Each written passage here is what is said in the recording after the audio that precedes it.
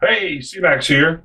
Uh, time for another contest. Uh, bunch of them out there, I know, but can't win if you don't play. Um, this one is for OIF Vet. Now, this is a, a guy uh, that I've been sub to for quite some time. Um, and he actually won one of my contests. I'll put uh, put a thumbnail of uh, his VR response for winning the contest here. Um, it was probably about a year ago he won one of my contests, and uh, he likes to shoot things, kind of test out ammo by shooting household type items, just a more of a practical type of, uh, um, you know, experiment with different ammunitions, calibers, and things of this nature the way I had found uh, him was kind of interesting. I found him through a video he had made um, of him shooting his daughter's cell phone.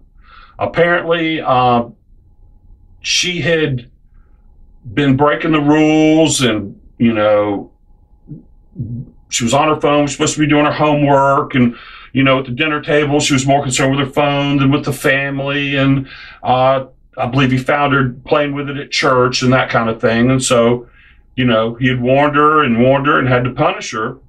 And you got to see the video, and I'll put a link to it right here. Um, don't want to kind of give it away, but you got to see it. It's really good, and it really impressed me. So I sub subbed him. Uh, he had subbed me back, and then ended up uh, entering one of my contests and won.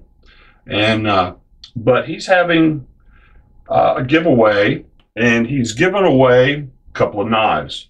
One of them is hidden. You don't know what it is. The other one's a lock blade straight, which looks great. Um, sub giveaway. As soon as he reaches 400 subs, he's gonna he's gonna do the drawing.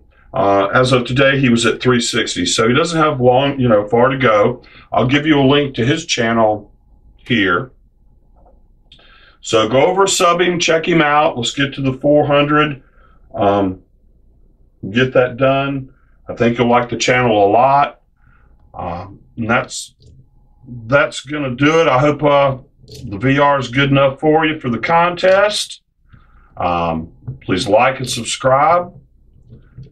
And let's go over the rules. I always do at the end. Keep your finger off the trigger to you ready to fire. Always know where your muzzle's pointed. Every gun is always loaded. Thanks a lot. Y'all have a great day.